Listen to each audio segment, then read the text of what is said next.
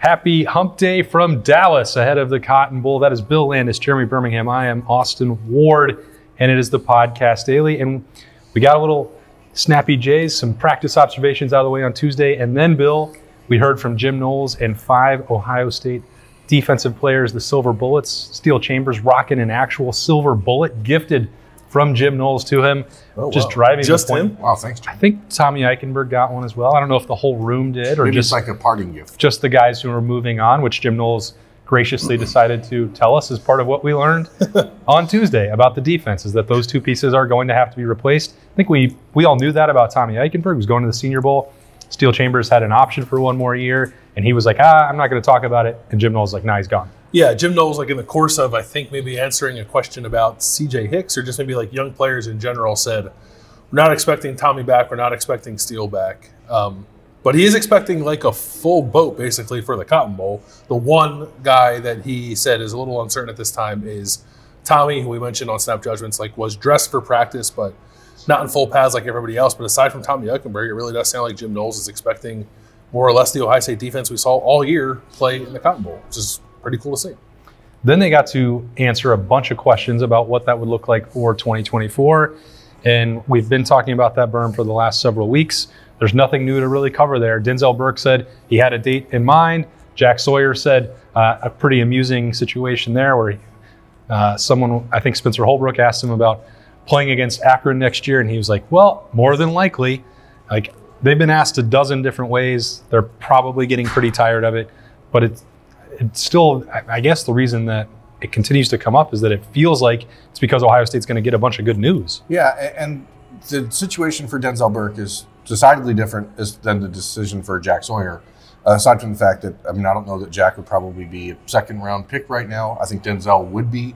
Um, but also at defensive line for Ohio State, if Jack moves on, it changes a whole lot more than like Denzel. Like the line of progression is pretty much there, so we know if Denzel decides to move off the NFL, Jermaine Mathews steps up. This is the way it goes. But so I don't know that that one.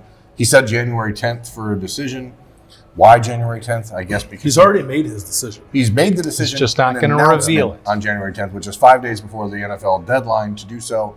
Um, I don't know. That's kind of weird to me. Like if, if you know, I would just tell people after the game on Friday so everyone can know what they're doing. But that's cool. Um, bottom line, I think it, it's trending towards what we've been thinking for the last three, four weeks. Like it feels like a lot of these guys, the intention is to return to Ohio State for the 2024 season, but people are leaving the door open in the event that something changes.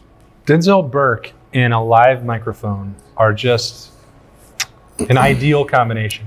That was one of the best, most entertaining press conferences you're going to find. Has he made? I was asking someone else about this. Like in terms of transformations from when guys get here to like when they're going to leave or have just been here for a few years. Has there been a better improvement than what Denzel Burke was as a true freshman when it was like nearly impossible to get two words out of him?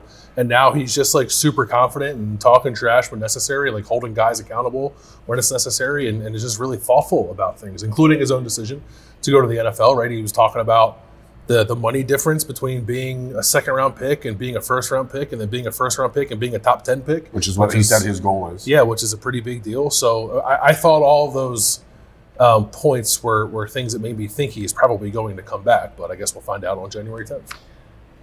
He certainly laid out a case that all of the breadcrumbs pointed to coming back because he was pretty specific about that. That his goal was to be a top 10 pick. We know that that's not the draft feedback that he's received at this point.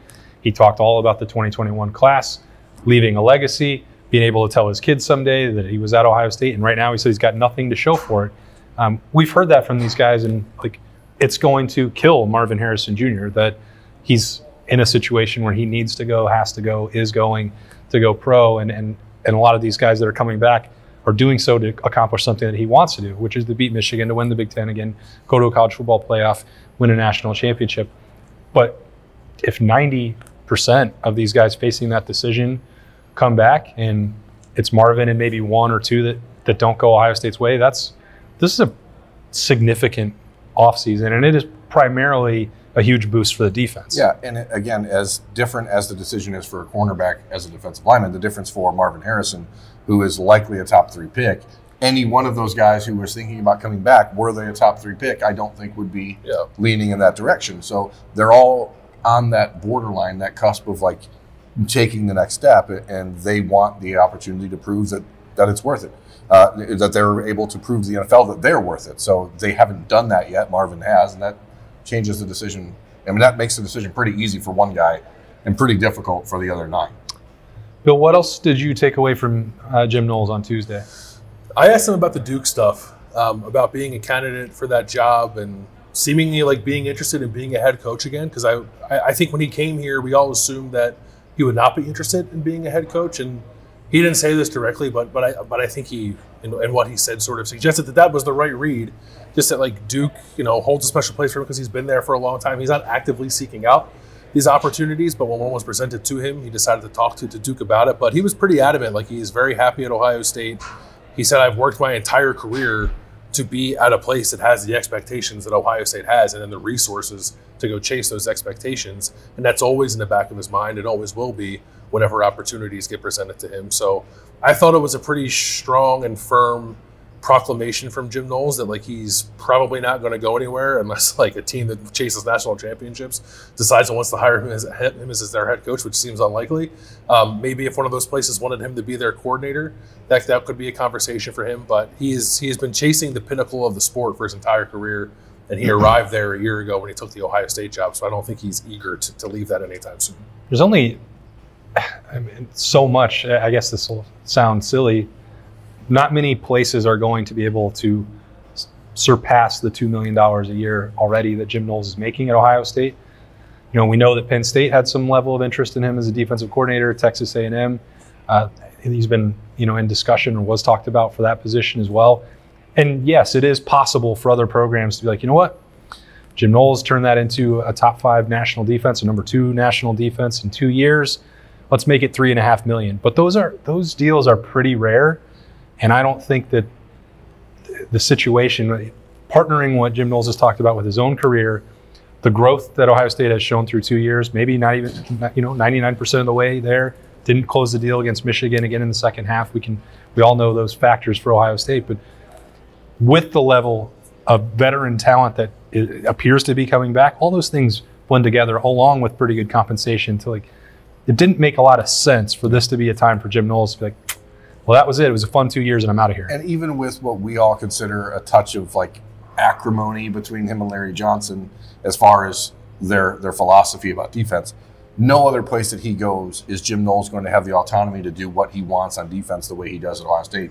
There's a reason Ryan Day calls him the head coach of the defense, and I, I do think that in some ways that title is not just honorary. He Ryan Day leaves defense to Jim Knowles, and it if you go to Duke and you're the head coach and you're making two and a half million dollars, you are fired in three years. Like, what what is the difference? What, or you're moving on, and you know, and I thought that answer from Jim Knowles was like the prototypical why I really like listening to Jim Knowles talk. Like that was a well thought out response to a, a question that could have easily been shrugged off, and instead of saying, "Well, I'm not going to talk about that," we're focused on. He said, "You know, I could do this, but like the value of being the defensive coordinator at Ohio State is better than being the head coach at 95% of the programs in America. So like that, it's a very, it's kind of a, a, unique response to something that I think people ask about a lot, you know, and, and that's, I, that's why I like Jim Knowles. I mean, he doesn't sugarcoat much, but he also says a lot without saying it, like he did about CJ Hicks uh, on, on Tuesday.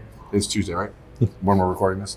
Well, this is Wednesday. It's Wednesday's the so, podcast I mean, daily. You know, we talked about the, on the Tuesday podcast daily. The question was what what is going on with CJ Hicks because we don't we weren't expecting Tommy Eichenberg to play. Maybe that's changing. Who knows? I guess we'll see.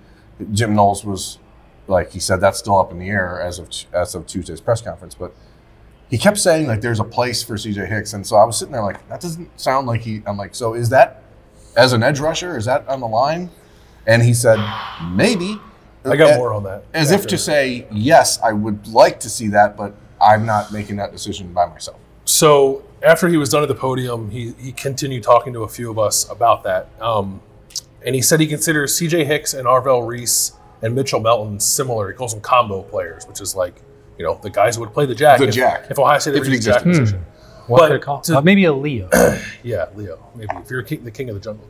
Um, but to the point of like CJ Hicks maybe like moving down a little bit, he was asked like, has CJ ever played defensive end? And he said like, not really, but when we're going against the offense and they want a specific look of something and you're just kind of like messing around a little bit. He said they have put CJ Hicks on the edge and he's looked really good when they've done it. So I think it's probably what Jim Knowles would like to do, but then it raises the question of like, do you need to add a linebacker? Because if you're taking guys, he named two players who are currently in the linebacker room in Arvell Reese and CJ Hicks, who might be better suited to play a hybrid position. And then do you need more linebackers? Like, how does that impact? They don't have that hybrid position, and if JT Tuimoloau and Jack Sawyer and those guys all Right. come back, Yeah. you still don't have that position on Yeah. the field. Right. And I think that's where a lot of the question marks are like, how do you deploy Mitchell Melton and CJ Hicks and Arvell Reese? Because he also mentioned Arvell Reese as a linebacker that's been standing out to him. So, like, they want to find ways to get these guys on the field, but I, I don't know. I mean, it, it's not going to happen Friday, is what is kind of the vibe I got. Yeah. Yes. That's for sure. when you talked about Gabe Powers and uh, the benefit of having Cody Simon coming back, who he said he was effusive in the praise of that. If you're looking at building the linebacker room, Ohio State views him as someone who could have started for just about any program in the country. Just happened to play with Steele Chambers and Tommy Eichenberg, though he did take Cody Simon a lot of uh, or a, a number of reps away from Steele as the year went on.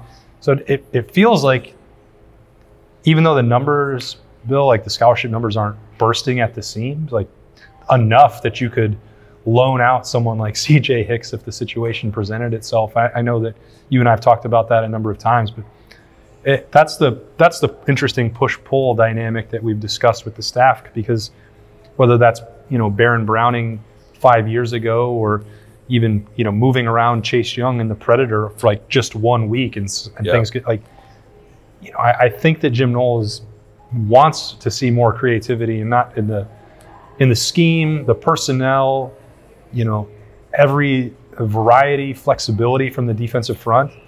And I, I feel like CJ Hicks could be a really key part of that personally. Um, but it, it doesn't seem like there's complete consensus on what that should be and what the next step is. Yeah, I, I think it's complicated. I, my personal belief is that if you're only lining up and four down on every single snap, you're doing yourself a disservice. And I think you look across football, I just don't think there are a lot of teams that, that are ecstatic with it as Ohio State is. It's what they've been traditionally. It's not what Jim Knowles has been. So there's probably some conversations that have to happen in the offseason. And I, I did try to ask about that. And, um, you know, Jim Knowles said you just try to put the players that you have in the best position to be successful. Like clearly, they're built to be, I think, mostly a four down defense like they were for much of this year. We didn't really see any of the hybrid package this year. Like I can't really recall seeing it once. Maybe The only time Mitchell Melton was on the field was when the other guys were off, right? Yeah. So so I don't. I, I I think they need to be intentional about implementing more of that as we move forward. Even with all the guys coming back on defense, like there has to be a world I think where all that coexists. Um, it's not a conversation for the Cotton Bowl, but I think it's a big conversation going into 2024. Berm, anything you heard from the five players that No, I mean, I think we were hoping to get a little bit of that juice, like that was out there pre Rose Bowl about uh, Marvin and Emeka Egbuka when when Chris Olave and Garrett Wilson sat out, and I mean, we all kind of were trying to pull that out of Denzel a little bit, and he Well, he did He for one of certainly does not um, hold back when talking about Carnell Tate, and and uh, you know to call him, he said he was one of our three best receivers all year, like. I, I think that Carnell Tate is one of those guys, and this is not meant to be a knock on Julian Fleming because he does a lot of he did a lot of great things for Ohio State. But I think it's one of those things where you walk out on a football field and your eyes go immediately to someone and you recognize that maybe they're a little bit different. Marvin Harrison had that Im- impact on Chris Olave and Garrett Wilson, and Carnell Tate's had that impact on everyone since he arrived last January. Um, I just think that Denzel Burke's way of talking about the young guys was pretty refreshing. Like he's got a ways to go. He's awesome. He's got a ways to go. Like uh, that's really cool to me. We were talking about Brandon Inniss on snap judgments, and I think it was good maybe to get a little bit of those expectations tempered. Um, but he's still going to get a lot of run on, on Friday, I think. But um, the Carnell Tate hype train is officially like out of the station. Yeah, and he and even in Denzel's own words, he he tried to not suggest that that means Friday is going to be Marvin from two years Yeah. ago in the Rose Bowl. That he said, "Man, think about 12 more games for this kid, and then a playoff next year, and what he could become. That he's going to be a first round pick. Not that he's been that at this point, in two years because he's still Well, yeah, but that he- which is amazing. which will be the same, you know, the Marvin track where you clearly would have been a first round pick if you're able to do that. But uh, the the battles he said, you know, because some of that's been a little bit different for Ohio State in these bowl practices where Denzel is no longer just going against a bunch of veterans and, and Marv, one of the best, the best wide receiver in the country, You know, Mecca moving around, Julian not being there at all. He's had a chance to line up against them, and it's not so much that Carnell Tate and Brandon Inniss are, uh, you know, been going to make Denzel Burke a top 10 pick the way those other guys are, but he can help bring them along and he's trying to teach them. And I think that's an interesting dynamic. Denzel is, he was not a captain. Uh, it was kind of crazy in hindsight, right? Yeah, I, because I think he is, I, I've said it before, I think he's the most important voice on the defense.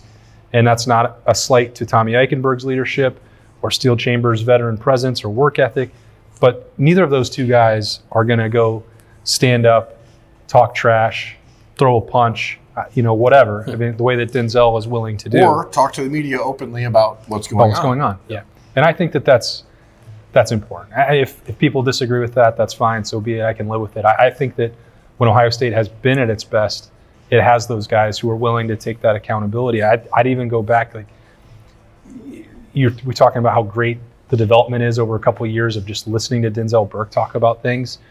I don't know why, but it feels to me like the way that Chase Young challenged teammates throughout his career, and like his press conferences were never the most loquacious Chase Young's, but there was never a moment where I was like, well, they don't have a heart heartbeat out there because Chase could provide that, or Jordan Fuller. Yeah. yeah. And Bill Denzel, like, was asked about Devin Brown in that same role, and mm-hmm. that was that seemed to be like the difference, I guess, in listening to him talk about Devin Brown versus what we heard all, all year long. I don't think he wanted to say it like, well, now there's a guy in the quarterback room that people are like they respond to that way, but it kind of felt like that's what he was hinting at. Did I? Am I wrong? No, I kind of took it the same way, and I'm, I don't. I don't mean that necessarily be like disparaging toward Kyle McCord. I, I just really like. It's not even a skill set, at least physical skill set conversation for me. I just I think people on this team respond differently to Devin because Devin carries himself differently than, than Kyle did. And I don't know that that guarantees you anything, but um, I think it is, you know, it's, it's pretty clear to me that it's different. I asked, uh, just quickly, uh, yeah. I, I, asked Denzel Burke, because we were asking a bunch of questions about young receivers, like to your point of holding people accountable. I said, like, hey, while we're talking about young receivers, do you have any thoughts on Jeremiah Smith? and he like paused for a second. I was like, I'm just kidding. I'm just being an idiot. You don't have to answer it. He's like, no, I got something. and then he said, he said something to the effect of like, I know he's a five star. Everybody thinks he's really good. It's different when you go against college corners. Let's get them in here and line up across from each other and see what happens. say, oh, oh, Bill, you have a question that you don't think is good enough to wait for this. yeah, yeah. Would you like an answer? Here it is. Yeah, it was good. But it was, it was, it was like great peek inside the mind of, of how Denzel operates. Yeah. So we got that That's look. a peek inside the mind of how all these guys operate. Yeah. When you're at this level, you do not like to hear about five star kids coming in that, that they're going to be better than people on the roster. Yeah. Like it pisses them off. Josh Proctor, or said, if it's suggested that they were put into the lineup without having earned it, which he didn't like that either. Josh Proctor um, said he has not heard back from the NCAA about a seventh year. I'm just kidding. I asked him just as a joke, like, yo, like, you get any word back? And he said, he said if they throw him some NIL money, he'd consider it. um, so that's where we are now. Yeah. I did. Uh, he, Josh Proctor, who famously loves NIL opportunities. He was, he was asked about like his favorite moment at Ohio State and like what stood out to him, what like the moment, and he brought up the Wisconsin game to hit on Jack Coan. That like that's oh, yeah. the one that was like ten years ago. Boy, and it, I mean that felt like so long ago, and I I was recalling it with him how we were walking out on the field, and Ryan Day was already on the field when he hit Jack Coan, and Ryan stopped. He's like, "Oh!" like, "Oh," or, or Josh like, "I wish I could have seen that." I'm like, "I'm sure it's out there somewhere." Yeah, special opportunity for him. He's got, he said, I think 22 people coming down from Tulsa for what is finally, inevitably, going to be his last game at Ohio State. He he felt that was going to be the end for each of the last three years, and it turned out now he, he was sticking around and making it work, and a really cool story and a chance for uh, him to go out on a high note for Ohio State on Friday night against Missouri. It's right up here. I don't know where. No, the date's it's down behind, there. It's behind me. Wherever. It's uh, it's Friday night. You guys know when it is. Two days away. Ohio State, Missouri, here in the Cotton Bowl. A lot more coverage coming your way on the podcast later today, Wednesday. We'll go back and we'll have 15 more uh, minutes of open viewing practice. We'll have some snap judgments, and we'll talk to who knows which offensive players are going to show up. I think there's a chance that we're going to get TreVeyon Henderson added to the schedule and an update. So he gets to answer questions for 45 minutes about his future. uh, but he has been dressed and he was leading the line. And the people are waiting to hear about Jeremiah Smith. And we do talk to Brian Hartline on Wednesday, and people will certainly ask yeah. him about Jeremiah Smith. Probably this guy, Jeremy Birmingham. I bet I won't. Jeremiah Birmingham. No, I, I this is not the time for recruiting questions. It's Not always for the me. time for recruiting. I'm a, questions. I, I, I'm focused. Okay. Focused on the game, Mark. Good. Focused on the Cotton Bowl. Thanks for starting your Wednesday with us here on the podcast daily. That's Bill and Berm. I'm Austin. We'll see you guys later from AT&T Stadium.